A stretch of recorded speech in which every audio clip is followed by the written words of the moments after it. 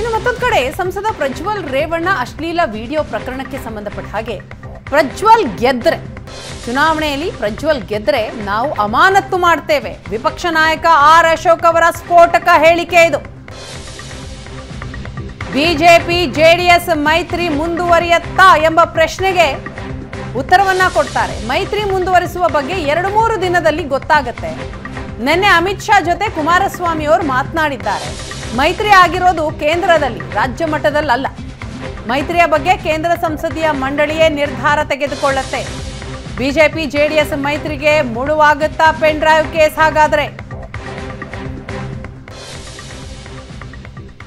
ಕೇಂದ್ರದ ಅಲ್ಲಾಗಿರೋದು, ದೆಹಲಿಯಲ್ಲಾಗಿರೋದು, ರಾಜ್ಯದಲ್ಲಾಗಿಲ್ಲ. ಲೋಕಸಭಾ ಚುನಾವಣೆಗೆ ಆಗಿರೋದು ಅದರಿಂದ ಕೇಂದ್ರದ ನಾಯಕರು ತೀರ್ಮಾನ ತೆಗೆದುಕೊಳ್ಳಿ ಅದನ್ನು ನಮ್ಮ ಕೇಂದ್ರ ನಾಯಕರ ಜೊತೆ ಚರ್ಚೆ ಮಾಡ್ತಾ ಇದ್ದೀರಿ ಚರ್ಚೆ ಮಾಡ್ತಾ ಇದ್ದೀರಿ. ಚರ್ಚೆ ಆದಮೇಲೆ ನನಗನ್ಸುತ್ತೆ ಇನ್ನೊಂದು ಎರಡು ಮೂರು ದಿನದಲ್ಲಿ ಅದರದ ಸ್ವರೂಪ ಗೊತ್ತಾಗ್ತೈತೆ. ನೆನ್ನೆನೂ ಕೂಡ ಅಮಿತ್ ಶಾ ಅವರು ಕುಮಾರಸ್ವಾಮಿಯವರು ಮಾತಾಡಿದ್ದಾರೆ. ಅದೇನು ಮಾತಾಡಿದ್ದಾರೆ ಅಂತ ಇನ್ನೂ ನಮ್ಮ ಗಮನಕ್ಕೆ ಬಂದಿಲ್ಲ. ಒಟ್ಟಿನಲ್ಲಿ ನಮ್ಮ ಕೇಂದ್ರದ ಸಂಸದೀಯ ಮಂಡಳಿ ಏನು ತೀರ್ಮಾನ ತೆಗೆದುಕೊಳ್ತೀವಿ ಅದಕ್ಕೆ ನಾವು ಬದ್ಧರಿದ್ದೇವೆ.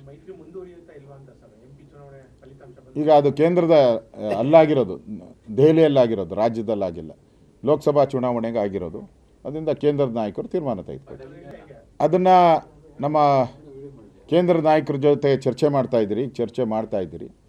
ಚರ್ಚೆ ಆದಮೇಲೆ ನನಗನ್ಸುತ್ತೆ ಇನ್ನೊಂದು ಎರಡು ಮೂರು ದಿನದಲ್ಲಿ ಅದರದ ಸ್ವರೂಪ ಗೊತ್ತಾಗ್ತೈತೆ.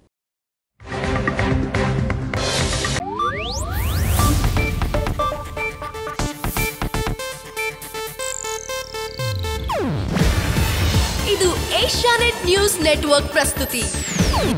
ನೀವು ನೋಡ್ತಿದ್ದೀರಾ ಏಷ್ಯಾ ನೆಟ್ ಸುವರ್ಣ ನ್ಯೂಸ್.